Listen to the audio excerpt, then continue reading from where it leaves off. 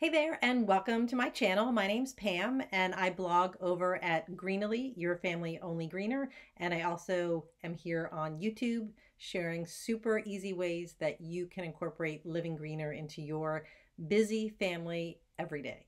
So today is a video about trash bags, which is a follow-up to a, a previous video I did where I, I talked a little bit about why I wanted to try to find an eco-friendly trash bag when trash really isn't eco-friendly to begin with, which seems like a weird thing, but I wanted to try to challenge myself to do trash in a greener way. Again, I know that sounds weird, but anyway, so um, I tried out three different garbage bags um, to see how they worked, and I purchased them based on the fact that they were kind of eco-friendly. So I will link to that video um, here so you can take a look at it and learn a little bit more about, um, you know, trash bags and landfills and stuff like that. So you can kind of check that video out. But today I'm going to share with you what I thought of each of the three trash bags that I tried out. So the first one I want to talk about is this trash bag from seventh generation and the reason I bought this to try, because it fits in the eco-friendly category, is because it's made with 55% recycled plastic. So it's not made entirely from virgin new, brand new made plastic, which um, is on the eco-friendly side because it's not using fossil fuels resources to create new plastic. Instead, it's only using some new plastic. So I tried these out. Um, I'll include the link to all three trash bags below um, if you want to try them out yourself. Um, so this is just a regular white bag. It feels like a trash bag. Um, it, to me, was a little bit on the weak side. So we compost all of our food waste. And so I don't usually have food scraps in my trash can. That's separated out into a different bin. So, but this one just was a little bit thin. Um, we do have trash. We're a family of five, so we have, you know, about one bag, maybe a little bit less than one bag of trash a week. So um, it just felt thin. It was not my favorite of the three. So it wasn't bad. It just wasn't um, great. So I probably won't repurchase these. Um, but again, I will include the link below in case you want to check them out. Um, they are, you know, eco-friendlier in that they're not made from 100% new plastic. So that was the seventh generation uh, trash bags. These were the 13 gallon size bags, which fits my trash can. Okay, so next I tried, um, by the way, I didn't, I can't find any of these in stores, just so you know. I had to, I had to order them on Amazon, which I'm, I'm okay with. Um, I guess. I guess and I guess I'm then paying more in transportation costs to get stuff shipped to me, which probably isn't eco-friendly, but oh, okay.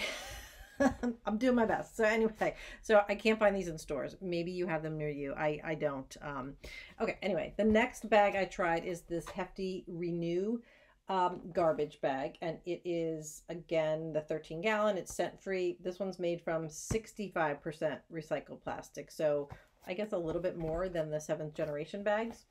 These are, to me, just like a, a total regular trash bag. They're, they're thick. They held up to whatever trash we had in the bin. Um, they they do come in a, a white version, um, just so you know. I, but these were totally fine. Um, I would definitely purchase these again, especially if I walked into my grocery store and they were on the shelf and I was out of garbage bags.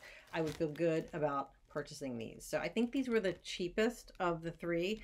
Um, so that's something to consider too. I don't remember the prices offhand, but again, I'll link to everything and you can check it out on your own. So the Hefty Renew garbage bags, give those a thumbs up. I definitely didn't purchase those. So, okay, so my favorite bag, if you can have a favorite trash bag, I do, um, are these um, again, 13 gallon bags made from Hippo Sak. And I almost didn't order these. I don't know why. I was looking online and these popped up and these are awesome. I love these. First of all, they're made from plants.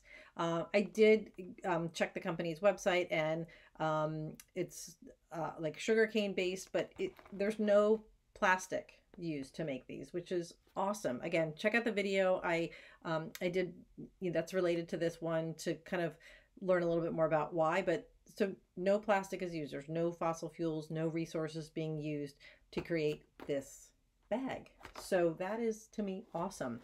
Um, I also did reach out to the company. Um, they do, um, you know, they're very sustainable in the way they manufacture um, and are, are very env- environmentally um, conscious. And so to me, that's all part of, you know, a product being eco-friendly. It's not just, you know, what it's made of or how do I get rid of it after the fact, but also the company itself and kind of what their um, kind of mission is with regard to the environment. And so Hippo Sak um, really seems like they're definitely uh, looking out for the environment, which to me means this is an eco-friendly product. So um, these are um, great. They're again, they feel just like a regular trash bag. They don't feel flimsy. They don't feel like they're going to break. They don't feel like, um, you know, your trash is going to be all over the ground when you take it out. Um, they have these really nice handles, which on their website are, they tout these as being nice to your hands. They have this um, reinforced bottom. Um, these I actually, I accidentally put one of these in my compost bin, um, which I sort in my kitchen. And uh, so this had a ton of food waste in it and it did fine. It didn't leak. Um, it didn't break. Um, I think I did actually put the seventh generation bag accidentally in my compost bin too, and that didn't work out well. It leaked. Um, it was a bad scene. But these, um, I actually had a ton of food waste, and it gets heavy after a week because we, you know, we sort all of our food waste. It's not just a backyard composter.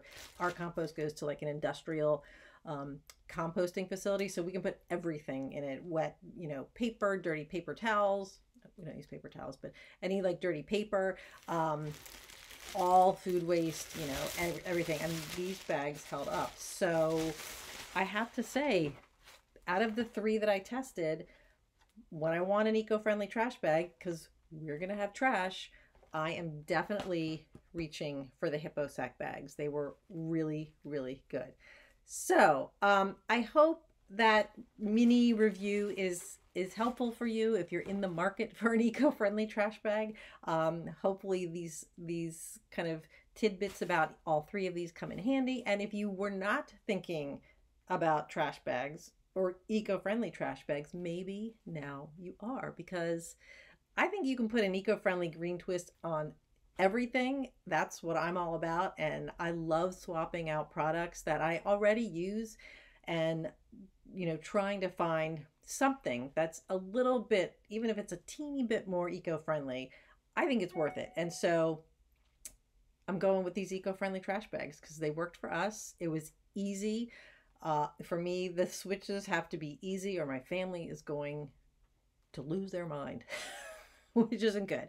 No, I'm just kidding. No, it was easy. And so I really like easy swaps that are eco friendly. So, anyway, I hope that again that was helpful and that you will consider subscribing to my channel, ring the bell if you want to be notified when I upload new videos. So, anyway, that is it for today. Thank you so much, and I will talk to you guys soon. Thanks.